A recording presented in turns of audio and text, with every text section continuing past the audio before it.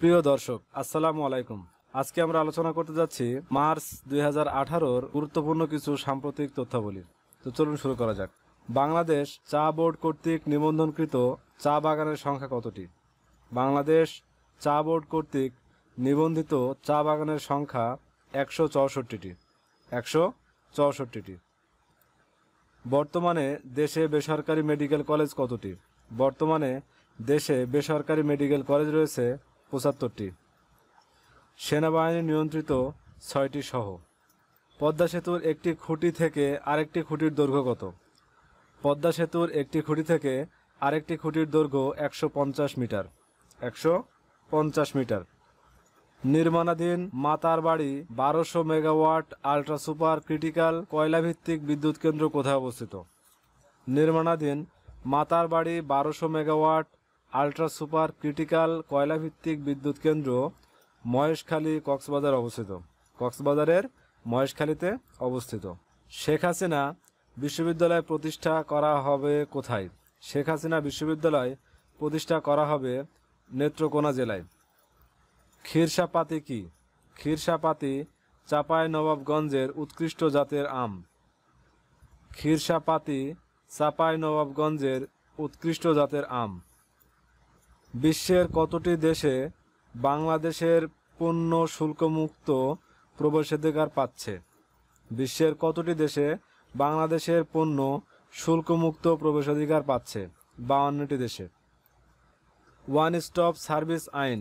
One stop service আইন দুই হাজার আঠারো অনুযায়ী বিনিয়োগকারীরা এক জায়গা থেকে কত ধরনের সেবা পাবেন? ওয়ান স্টপ সার্ভিস আইন দুই হাজার আঠারো অনুযায়ী বিনিয়োগকারীরা এক জায়গা থেকে সাতাশ ধরনের সার্ভিস পাবেন। বাংলাদেশ বিমান বাহিনীর সর্ববৃহৎ যুদ্ধ বিমান ঘাঁটি, বাংলাদেশ বিমান বাহিনী ঘাঁটি বঙ্গবন্ধু কোথায় অবস্থিত? বাংলাদেশ বিমান বাহিনী ঘাঁটি বঙ্গবন্ধু কুর্মিটোলা ঢাকায় অবস্থিত। ঢাকার কুর্মিটোলায় অবস্থিত। দেশের দ্বিতীয় বৃহত্তম শ্বাসমূলীয় বনের নাম কি? দেশের দ্বিতীয় বৃহত্তম শ্বাসমূলীয় বনের নাম ট্যাংরাগিরি বনাঞ্চল। ট্যাংরাগিরি বনাঞ্চল। বৃহত্তম শ্বাসমূলীয় বন সুন্দরবন। বৃহত্তম শ্বাসমূলীয় বন সুন্দরবন। সাংবাদিক কাঙ্গাল হরিনাথ স্মৃতি জাদুঘর কোথায়? সাংবাদিক কাঙ্গাল হরিনাথ স্মৃতি জাদুঘর কুষ্টিয়ার কুমারখালীতে। কুষ্টিয়ার কুমারখালীতে। পল্লীকবি জসিমউদ্দিন জাদুঘর ও লোক সাংস্কৃতিক কেন্দ্র কোথায় অবস্থিত? পল্লীকবি জসিমউদ্দিন জাদুঘর ও লোক সাংস্কৃতিক কেন্দ্র ফরিদপুরের অম্বিকাপুরে অবস্থিত। ফরিদপুরের অম্বিকাপুরে অবস্থিত। পয়লা ডিসেম্বর দু হাজার সতেরো দর্শকদের জন্য উন্মুক্ত করা হয়। পয়লা ডিসেম্বর দু হাজার সতেরো দর্শকদের জন্য উন্মুক্ত করা হয়। বাংলাদেশের তেল গ্যাস অনুসন্ধানকারী এসওসিএআর কোন দেশভিত্তিক কোম্পানি? বাংলাদেশের তেল গ্যাস অনুসন্ধানকারী এসওসিএআর কোন দেশভিত্তিক কোম্পানি? আজারবাইজান। এসওসিএআর। এসওসিএআর এর পূর্ণরূপ হচ্ছে state oil company of the Azerbaijan republic. Bangladesh পুলিশের জন্য প্রস্তাবিত তফসিলি ব্যাংকের নাম কি? বাংলাদেশ পুলিশের জন্য প্রস্তাবিত তফসিলি ব্যাংকের নাম community bank Bangladesh. Community bank Bangladesh. বর্তমানে দেশে কত ধরনের প্রাথমিক বিদ্যালয় রয়েছে? বর্তমানে দেশে পঁচিশ ধরনের প্রাথমিক বিদ্যালয় রয়েছে। বর্তমানে তুলা আমদানিতে বিশ্বের শীর্ষ দেশ কোনটি? বর্তমানে তুলা আমদানিতে বিশ্বের শীর্ষ দেশ বাংলাদেশ। আটষট্টিতম বার্লিন চলচ্চিত্র উৎসবে সেরা চলচ্চিত্রের পুরস্কার গোল্ডেন বিয়ার লাভ করে কোন চলচ্চিত্র? আটষট্টিতম বার্লিন চলচ্চিত্র উৎসবে সেরা চলচ্চিত্রের পুরস্কার গোল্ডেন বিয়ার লাভ করে কোন চলচ্চিত্র? টাসমি নট টাসমি নট মুভিটির পরিচালক ছিল Adina Pintilie. Adina Pintilie Romania. রোমানিয়ার Adina Pintilie touch me not ছবিটির পরিচালক ছিলেন। প্রথম ভারতীয় প্রধানমন্ত্রী হিসেবে ফিলিস্তিন সফর করেন কে? প্রথম ভারতীয় প্রধানমন্ত্রী হিসেবে ফিলিস্তিন সফর করেন নরেন্দ্র মোদী। সফর করেন দশ ফেব্রুয়ারি দুই হাজার আঠারো। দশ ফেব্রুয়ারি দুই হাজার আঠারো। আফ্রিকা মহাদেশের কোথায় ভারত সামরিক ঘাঁটি নির্মাণ করতে যাচ্ছে? আফ্রিকা মহাদেশের কোথায় ভারত সামরিক ঘাঁটি নির্মাণ করতে যাচ্ছে? আসামসো আসামসন আইল্যান্ড। আসামসন আইল্যান্ড। আসামসন আইল্যান্ডটি, তো সিসেলেসে অবস্থিত।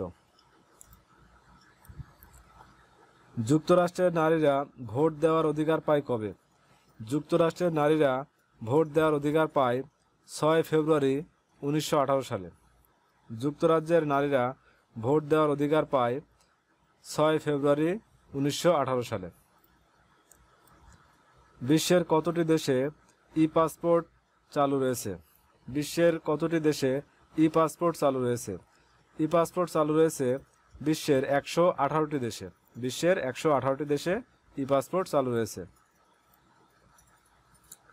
মারা সালভা ট্রুসা।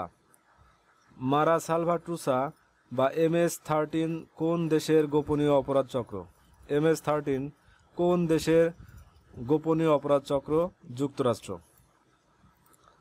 অক্সফাম কোন দেশ ভিত্তিক দাতব্য সংস্থা। অক্সফাম কোন দেশ ভিত্তিক দাতব্য সংস্থা? যুক্তরাজ্য। অক্সফাম যুক্তরাজ্য ভিত্তিক দাতব্য সংস্থা। কমনওয়েলথ এর কতটি দেশ সদস্যপদ ত্যাগ করে পুনরায় যোগদান করে? কমনওয়েলথের কতটি দেশ সদস্যপদ ত্যাগ করে পুনরায় যোগদান করে? চারটি দেশ। দেশগুলো হচ্ছে পাকিস্তান, দক্ষিণ আফ্রিকা, ফিজি ও গাম্বিয়া। পাকিস্তান, দক্ষিণ আফ্রিকা, ফিজি ও গাম্বিয়া এই চারটি দেশ কমনওয়েলথের সদস্য ছিল পূর্বে। সদস্যপদ ত্যাগ করে আবার পুনরায় সদস্যপদ গ্রহণ করেন। International decade for action water for sustainable ডেভেলপমেন্টের সময়কাল কত? ওয়াটার ফর সাস্টেইনেবল ডেভেলপমেন্টের সময়কাল দুই হাজার আঠারো থেকে দুই হাজার আটাশ international decade for action water for sustainable ডেভেলপমেন্টের সময়কাল দুই হাজার আঠারো থেকে দুই হাজার আটাশ এক্সাম ওয়ারিয়র গ্রন্থের রচয়িতাকে। এক্সাম ওয়ারিয়র গ্রন্থের রচয়িতা নরেন্দ্র মোদী। তিনি ভারতের প্রধানমন্ত্রী। এক্সাম ওয়ারিয়র গ্রন্থের রচয়িতা ভারতের প্রধানমন্ত্রী নরেন্দ্র মোদী। দুই হাজার আঠারো সালের ইআইইউ প্রতিবেদন অনুযায়ী বৈশ্বিক গণতন্ত্র সূচকে শীর্ষ দেশ কোনটি? দুই হাজার আঠারো সালের ইআইইউ প্রতিবেদন অনুযায়ী বৈশ্বিক গণতন্ত্র সূচকে শীর্ষ দেশ নরওয়ে শীর্ষ দেশ নরওয়ে। দুই হাজার আঠারো সালের ইআইইউ প্রতিবেদন অনুযায়ী বৈশ্বিক গণতন্ত্র সূচকে সবচেয়ে খারাপ দেশ কোনটি? দুই হাজার আঠারো সালের ইআইইউ প্রতিবেদন অনুযায়ী বৈশ্বিক গণতন্ত্র সূচকে সবচেয়ে খারাপ দেশ উত্তর কোরিয়া, সবচেয়ে খারাপ দেশ উত্তর কোরিয়া। দুই হাজার আঠারো সালের ইআইইউ প্রতিবেদন অনুযায়ী বৈশ্বিক গণতন্ত্র সূচকে বাংলাদেশের অবস্থান কততম? দুই হাজার আঠারো সালের ইআইইউ প্রতিবেদন অনুযায়ী বৈশ্বিক গণতন্ত্র সূচকে বাংলাদেশের অবস্থান বিরানব্বইতম। বাংলাদেশের অবস্থান বিরানব্বইতম। দুই হাজার আঠারো সালের হেরিটেজ ফাউন্ডেশনের প্রতিবেদন অনুযায়ী অর্থনৈতিক স্বাধীনতা সূচকে বিশ্বে শীর্ষ দেশ কোনটি? দুই হাজার আঠারো সালের হেরিটেজ ফাউন্ডেশনের প্রতিবেদন অনুযায়ী, অর্থনৈতিক স্বাধীনতা সূচকে বিশ্বে শীর্ষ দেশ হংকং। বিশ্বের শীর্ষ দেশ হংকং। দুই হাজার আঠারো সালের হেরিটেজ ফাউন্ডেশনের প্রতিবেদন অনুযায়ী, অর্থনৈতিক স্বাধীনতা সূচকে সবচেয়ে খারাপ দেশ কোনটি? দুই হাজার আঠারো সালের হেরিটেজ ফাউন্ডেশনের প্রতিবেদন অনুযায়ী, অর্থনৈতিক স্বাধীনতা সূচকে সবচেয়ে খারাপ দেশ উত্তর কোরিয়া। সবচেয়ে খারাপ দেশ উত্তর কোরিয়া। দুই হাজার আঠারো সালের হেরিটেজ ফাউন্ডেশনের প্রতিবেদন অনুযায়ী অর্থনৈতিক স্বাধীনতা সূচকে বাংলাদেশের অবস্থান কততম? দুই হাজার আঠারো সালের হেরিটেজ ফাউন্ডেশনের প্রতিবেদন অনুযায়ী অর্থনৈতিক স্বাধীনতা সূচকে বাংলাদেশের অবস্থান একশো আঠাশতম। বাংলাদেশের অবস্থান একশো আঠাশতম। দুই হাজার আঠারো সালের অস্ট্রেলিয়ান ওপেনে পুরুষ ও নারী এককে চ্যাম্পিয়ন কে কে? দুই হাজার আঠারো সালের অস্ট্রেলিয়ান ওপেনে পুরুষ champion Roger Federer Switzerland. Roger Federer Switzerland এবং নারী champion Caroline Wozniacki, Denmark. Caroline Wozniacki, Denmark. আন্তর্জাতিক ক্রিকেট কাউন্সিল আইসিসি এর প্রথম স্বাধীন নারী পরিচালক কে ইন্দ্রা নুই। আন্তর্জাতিক ক্রিকেট কাউন্সিল আইসিসি এর প্রথম স্বাধীন নারী পরিচালক ইন্দ্রা নুই ইন্দ্রা নুই তো বন্ধুরা, এই ছিল আজকে আমাদের আয়োজন। আমাদের পরবর্তী ভিডিও দেখার আমন্ত্রণ জানিয়ে এখানে শেষ করছি। ধন্যবাদ।